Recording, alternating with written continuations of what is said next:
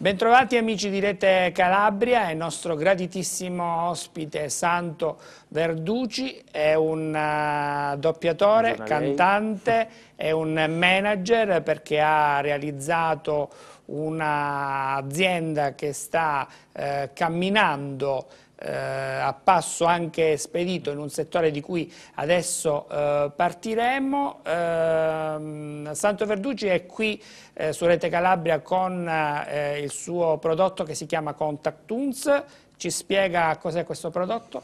Allora, è un format televisivo per ragazzi che è nato appunto dalla crisi televisiva che c'è stata in questo campo negli ultimi anni. È un prodotto fresco, divertente, eh, che dura 10 minuti in totale, più all'interno ci sono varie serie televisive di cartoni animati. Parliamo a 360 gradi, ci rivolgiamo al mondo dei ragazzi, quindi parliamo di videogame, cartoni animati, moda, sport e musica.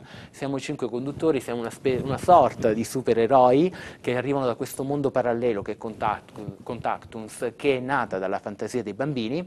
E allora eh, abbiamo dei nomi inventati, tipo il nome dell'elemento, io rappresento fire, il fuoco, poi c'è rosò, lucta, acqua, terra, aria ed energia e abbiamo avuto un grosso riscontro nella cultura italiana per questa trasmissione televisiva che fa da contenitore a tante tante serie televisive di cartoni. La TV dei ragazzi è un uh, must della televisione italiana, eh, mi sembra che il suo eh, caso, eh, il progetto che lei sta portando avanti da cinque anni eh, vada un po' in controtendenza rispetto a quella che è un po' la, mh, mm, eh, la storia eh, di questo settore nell'ambito delle grandi reti. la TV dei ragazzi non è finita con anche l'ingresso eh, di grandi piattaforme come può essere quella di Mediaset o quella di Sky, però trova degli spazi in realtà regionali come quelle nella, eh, nelle quali lei opera attualmente. Sì, allora la TV regionale è un tessuto importante e non va a scemare o a morire perché logicamente le persone, come dicevo eh, poc'anzi, che i bambini vanno a cercare il cartone animato, non vanno a guardare se è nazionale o è regionale, se gli piace la serie televisiva la va a guardare, a differenza dell'adulto o degli investitori pubblicitari.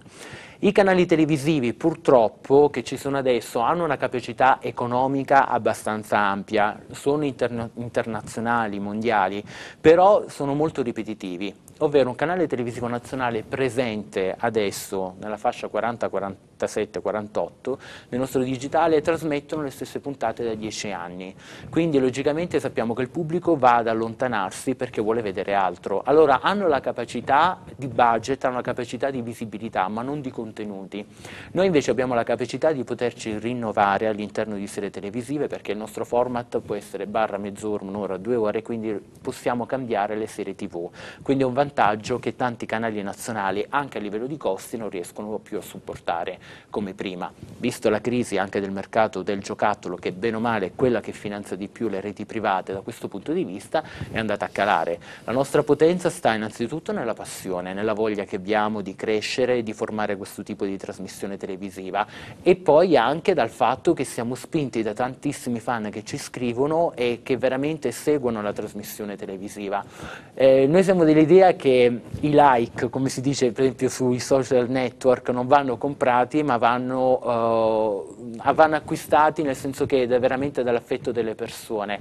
Ci sono per esempio dei like fasulli che poi non portano a nulla, noi invece ci piace la genuinità del rapporto che si ha con il pubblico da questo punto di vista. Pochi ma buoni. Pochi insomma. ma buoni. Sì. Santo Verduccio è un uh, giovane imprenditore calabrese eh, di Reggio Calabria, sì. ha studiato Uh, poi a 18 anni sì. è andato via per studio, sì. immagino, a Milano e a Milano è riuscito a coronare questo suo sì. sogno di questo progetto che è diventato un progetto eh, concreto. Come è nato? Ma è nato innanzitutto dalla passione che ho avuto sempre per i cartoni animati, che l'ho trasformato in un lavoro e da lì eh, ho iniziato pian piano a fare il corista per vari cantanti e poi da lì eh, un giorno sono capitato studio di doppiaggio di Cologno Monzese, il direttore bravissimo che ha creato proprio una fucina dei cartoni animati, specialmente delle reti Mediaset, mi disse ma ascolta perché scrivi le canzoni essendo cantautore per gli altri, inizia a cantare anche tu. Poi da lì mi ha introdotto anche nel mondo del doppiaggio con alcuni cartoni animati famosi che sono stati trasmessi in varie reti televisive nazionali e poi da lì mi sono messo in proprio perché ho detto io punto tanto sui giovani, eh, scrivevo anche per una testata, un magazine dedicato al mondo dei cartoni animati, infatti grazie al vantaggio che avevo di doppiare vedevo i cartoni animati molti anni prima che andassero in onda, molti mesi prima, non c'era la crisi editoriale quindi il giornalino vendeva tantissimo, questo giornaletto qui.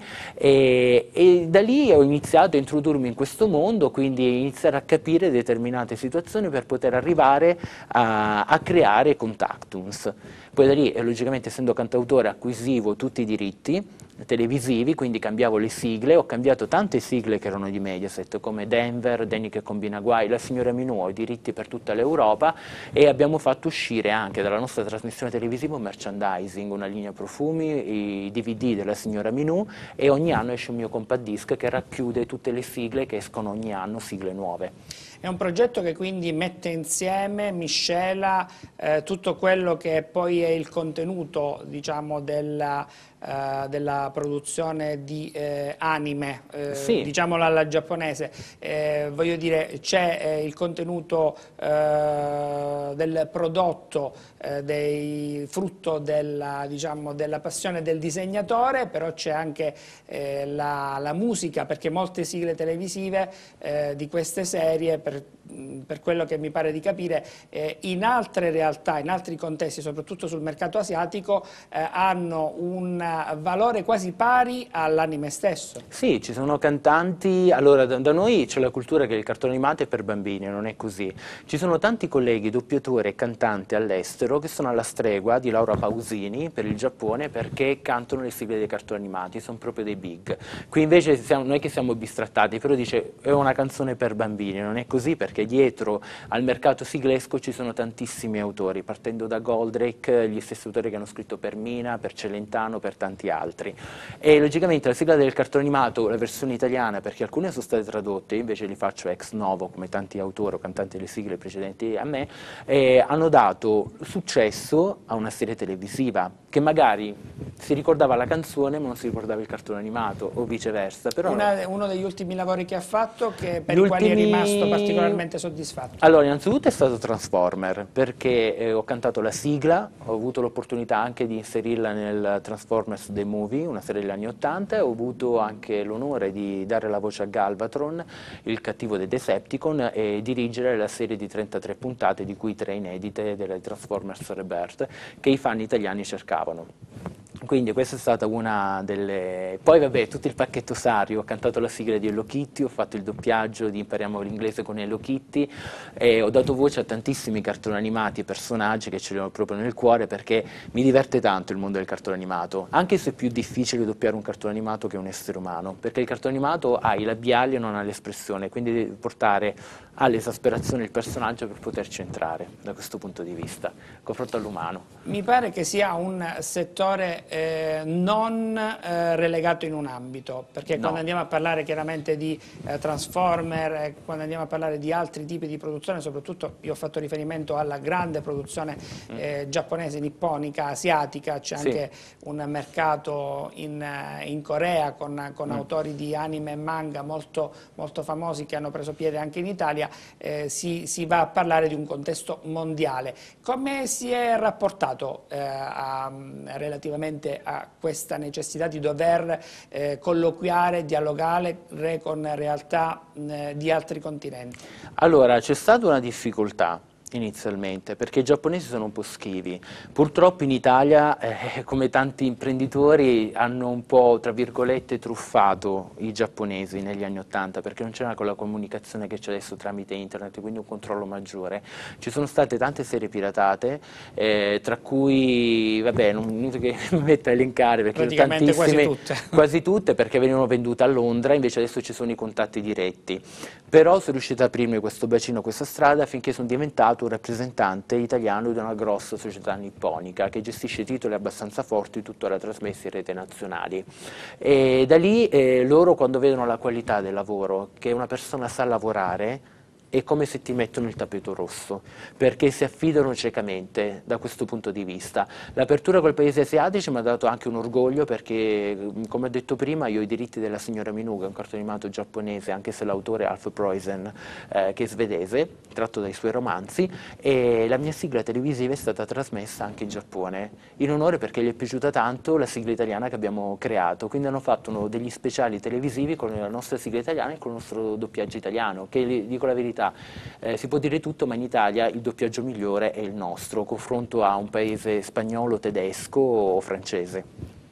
Eh, lei parlava del, dell'interattività, sì. Mm, c'è ormai la capacità di eh, comunicare direttamente con il proprio pubblico, eh, quanto eh, prendete dai suggerimenti che vi arrivano dai ragazzi o dagli adolescenti che seguono il vostro programma? Guardi, quasi tutto, perché logicamente ci chiedono delle serie che hanno pure dei costi esorbitanti, logicamente, perché quando noi abbiamo, andiamo a acquisire, se c'è un doppiaggio audio già fatto, fatto ha dei costi molto inferiori confronto a un doppiaggio ex novo che si va a fare o una serie nuova. Però eh, prendiamo di tutto, le analizziamo e vediamo quello che riusciamo a fare. Esempio, tanti ci hanno scritto di creare nel reparto musica la biografia dei cantanti oltre come si scrive una canzone, abbiamo fatto la parte degli strumenti, come funziona uno studio di registrazione. Allora gli abbiamo detto, va bene, facciamo le biografie dei cantanti, perché ci sono tanti fan che gli piace vedere che con Tactus parli dei cantanti, tanti che ci scrivono, parlate, fate uno speciale su Goldrake, per esempio, che adesso ritorna in auge, prossimamente in tv e anche in DVD, questa serie televisiva di successo, quindi creiamo questi special. La um, novità che c'ha con Tactus è che noi mettiamo in replica anche le puntate, perché sono state strutturate in un modo come se fosse un'enciclopedia eh, che dà informazione, quindi uno la può vedere non a noia ma anzi dà curiosità da questo punto di vista, perché parliamo di modi di tutto il mondo, eh, siamo imparziali su questo, non abbiamo parzialità del parlare, parliamo dai film tratti dai cartoni animati, dalle serie oltre manga anche americane perché hanno avuto tutto questo successo come Marvel o DC Comics. Eh Cosa state preparando per la prossima stagione televisiva? Per la prossima stagione televisiva iniziamo le biografie, continuiamo con i cartoni animati, adesso una tv regionale che dicevo Lombarda, c'è un nuovo cartone animato, Piccola Dolcenella, arriverà anche Star Blazer che è di Leiji Matsumoto, ovvero lo stesso autore di Capitan Harlock, abbiamo preso i diritti di tutti i 78 episodi, ci sarà una mia nuova sigla all'interno e stiamo vedendo che abbiamo un grande riscontro come l'abbiamo avuto in tutti questi 5 anni. Abbiamo acquisito un nuovo pacchetto di cartoni animati quindi avrò molto da fare per quanto riguarda dal punto di vista delle sigle, perché ho creato dei testi ma ancora li devo musicare, perché è sempre così, poi magari cambi la parolina, cambi la cosa, insieme ai collaboratori che creiamo arrangiamenti, quindi ci destreggiamo da questo punto di vista. Però siamo fiduciosi che anche qui su Rete Calabria avremo lo stesso successo che abbiamo avuto al nord, perché secondo me il cartone animato unisce tutta la famiglia anche gli adulti, anche se un po' si vergognano, ah io non guardo i cartoni animati, poi appena sentono una sigla iniziano a cantarla, perché tutti siamo cresciuti. Eh, come dicevo in un'ospitata mm, eh, tempo fa, dicevo, Lady Oscar, eh, ho imparato la rivoluzione francese grazie a Lady Oscar, cioè non, grazie ai libri di scuola, sì, quello è poco ma sicuro. Delle, ci sono degli spunti che possono degli dare spunti, poi dei... Sì.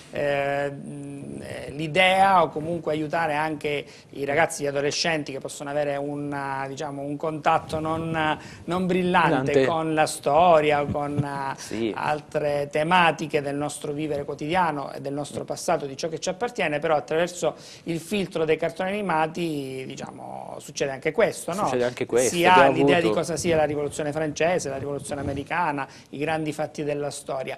Ehm, relativamente alle, alle musiche, che mi pare sì. un argomento ehm, eh, molto, eh, che ha molto a che vedere, come dicevo anche prima, con ehm, questo, questo, settore. Eh, re, mh, rispetto a quella che è la sigla eh, originale, quanto interviene lei poi sul testo e sulle musiche?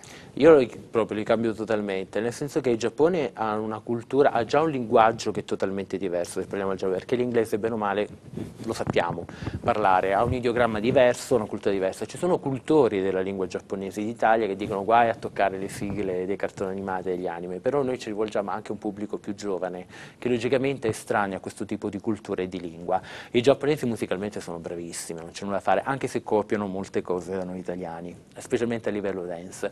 Eh, loro eh, parlano di certe situazioni all'interno del cartone animato, magari io nella, mm, in Piccolo Dolcenello, la signora Minù, parlo sia del, della protagonista che spiego la storia, perché mi piace un po' allargare oltre il testo.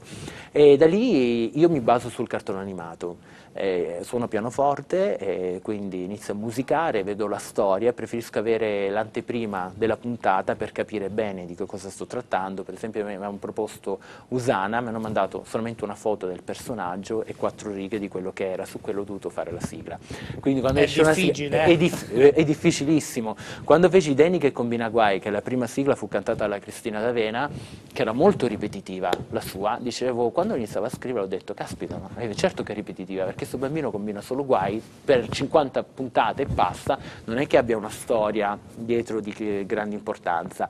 Però poi magari sono quelle sigle che sono tra virgolette più stupide che hanno più successo. Per esempio Usana eh, e allegra, stile Zecchino d'Oro, ha avuto un grande successo. Le pensi che su, eh, tramite Hello Kitty sono entrati in classifica in nona posizione sotto Shakira, eh, in Australia in classifica. Infatti la mia casa distributrice mi chiama, mi dice sei in classifica nella top 10, ma dove?